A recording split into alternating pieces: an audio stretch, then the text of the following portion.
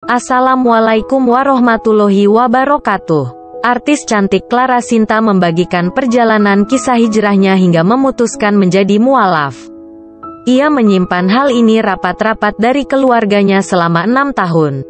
Clara Sinta mengatakan keputusan mualaf ini diambil atas kesadaran dan kehendak sendiri.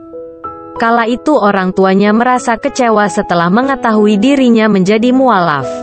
Jadi orang tuaku tahu sebelum satu menit aku take off ke Jeddah. Untuk umrah. Kata Clara Sinta dalam tayangan televisi seperti dikutip dari kanal YouTube Muslim Reaction. Ia mengungkapkan sangat menyayangi orang tuanya dan tidak ingin berniat membuatnya bersedih. Namun, keputusannya menjadi mualaf adalah pilihannya. Akan tetapi akhirnya keluarga Clara Sinta mau menerima. Karena ini pilihan hidupnya. Ia mengatakan sudah menjadi mualaf sejak 2017. Dirinya menyimpan rapat-rapat status mualaf tersebut karena tidak ingin membuat keluarganya bersedih. Selain itu, Clara Sinta juga menceritakan proses dirinya hingga memutuskan untuk berhijab. Hal itu terjadi ketika pergi ke Bandung untuk menghadiri sebuah acara. Kala itu Clara belum berhijab. Dia masih mengenakan pakaian pendek namun terbilang sopan.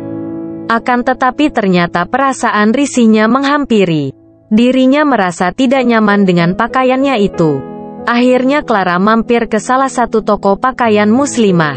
Ia membeli satu setel pakaian syari, dan langsung dipakainya.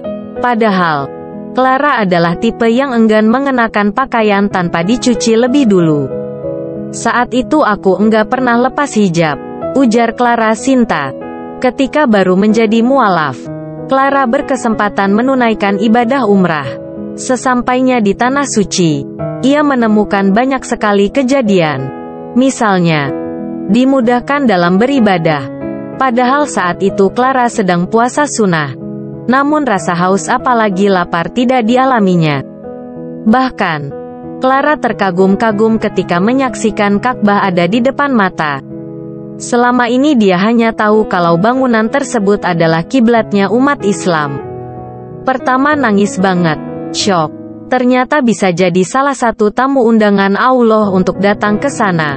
Maka, pungkas Clara Sinta. Allahu alam bisawaf. Assalamualaikum warahmatullahi wabarakatuh.